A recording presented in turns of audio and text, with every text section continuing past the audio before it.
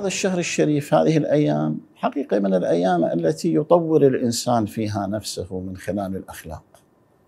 يقوي أخلاقه يبدئ الحسنات إلى الآخرين. ويعلم الناس أيضا فضلا عن يتعلم بنفسه يعلم الناس التراحم والتوادد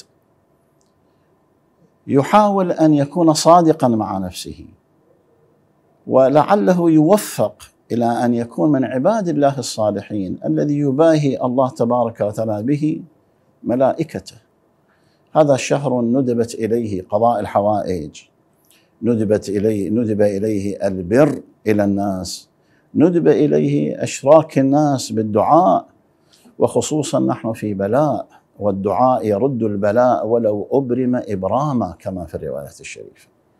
الإنسان مع غض النظر سأتي إلى نقطة أخرى إن شاء الله بعد ذلك، مع غض النظر عن الأسباب الطبيعية للبلاء. مع غض النظر الأسباب الطبيعية تحفظ لكن طريقة تعاملنا مع البلاء كيف تكون؟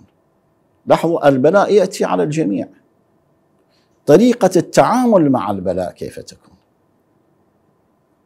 هذه نقطة مهمة ونقطة جوهرية في علاقة الإنسان مع الله تبارك وتعالى.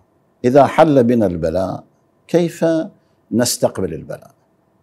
نستقبله بحالة من اليأس حالة من الإحباط أو نستقبله بأدوات الاستعداد التي هيئت أو التي هيأناها قطعا نستقبلها بأدوات الاستعداد التي هيأناها من جملة الأدوات نحن أن نقبل على الله تبارك وتعالى.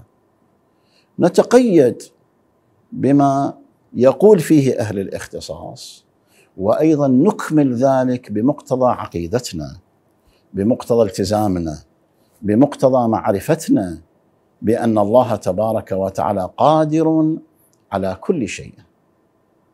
فلا بد أن نتعامل مع كل الأشياء وفق مخزوننا المعرفي ووفق مخزوننا الديني وفق مخزوننا العقدي. نتعامل مع هذا يخفف عنا ولعله يرفع عنا البلاء. thank you